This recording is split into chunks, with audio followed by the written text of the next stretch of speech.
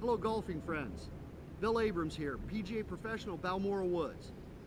I want to take this opportunity to make you aware of a program that we're running between now and November 15th. We are asking if you have any used equipment that you no longer have a use for, can't sell, it's kind of cluttering up your basement, your garage, check out pgatradein.com. See if it's listed there, see what the value is. What we were going to do with that, we'll accept that trade-in and issue you a gift card in that amount that the PGA Trade-In lists on their value guide, plus an additional 15%. Example would be, you have an older set of irons. It's listed on PGA Trade-In for $100.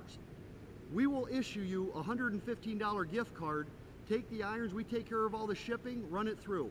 Please check out www.pgatradein.com to see if your clubs qualify, what the type of condition is, and what the number is.